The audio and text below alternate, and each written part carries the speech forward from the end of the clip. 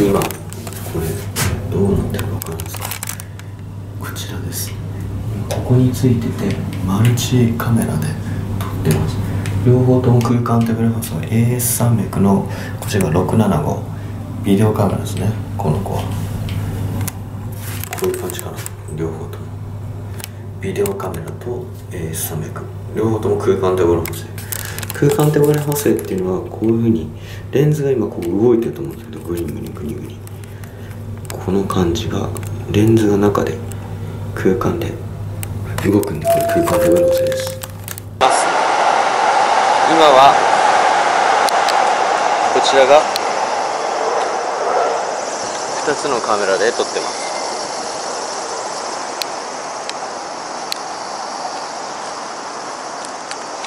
うやって撮ってるんですよ。マルチカメラ。こういう感じで映像を見ながら撮れます。で自分はどんな感じになってるかっていうとこうや感じですね。頭と。なので帽子を変えました。帽子はしないんですけどなんかこれが一番。腰にもつけられるんですけどここの辺り。でもねちょっと動きます腰につけると。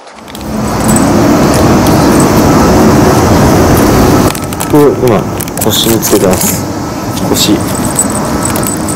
ちょっとこれズボンがテラテラなんで動くんです。ただこのカメラはこのソニーのカメラは空間手振り補正なんで多少このぐらい動いててもまあまあな画像映像を撮ってくれますね。こっちももちろん空間手振り補正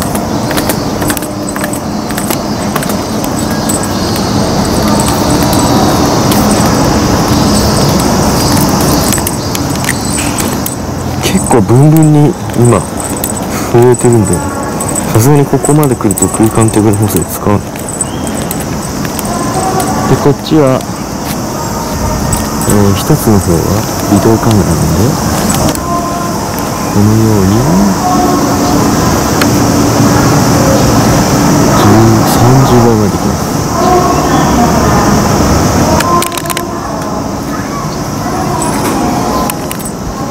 このマルチカメラコントロールは面白いです。もう一台つけられますねこれ。もう一台じゃないな。そうですね。なんですよ。ボケ味のいいレンズをつけられます。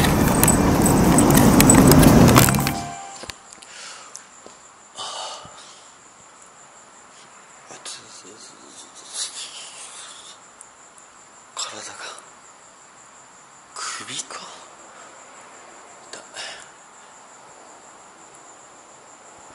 はあはいそうですね今日のこのメガネはフランスのヴィンテージのメガネです。本当のヴィンテージです。結構やっぱかっこいいんですよね。普通のと違って。